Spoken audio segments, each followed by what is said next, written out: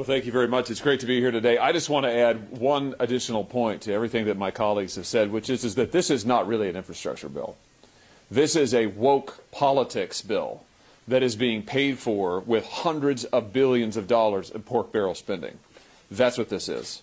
Why is there gender identity language in this bill? Why is there gender identity language in the digital equity portions of this bill? Why does this bill potentially create a federal cause of action around gender identity? Why does it elevate it to a protected class? These are hugely controversial decisions, hugely controversial points of law, and they're in an infrastructure bill. I think that tells you what you need to know about this bill. It's not really about infrastructure at all. It's about woke politics. Why is President Biden so enthusiastically for it? Because it advances his far left agenda. The Green New Deal, elements of it across this bill. The climate change agenda, it's stuffed into this bill. Quotas for this, that, and the other in this bill.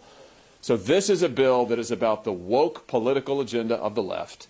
It is being paid for with this massive pork barrel spending. And I just hope Republicans will open their eyes to what's actually in the bill. You know, when you get a bill this late in the process that's 2,700 plus pages long, sometimes it's tempting not to actually look and see what's in the bill folks should look and see what's in this bill. I think it's going to be awfully hard to explain to Republican voters that we have gone along, or some Republicans have gone along with this kind of an agenda, this sort of a social agenda, this kind of pork barrel spending.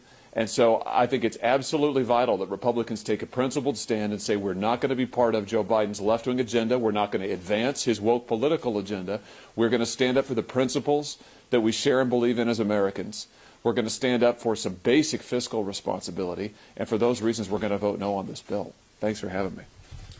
Any questions? Yes, sir.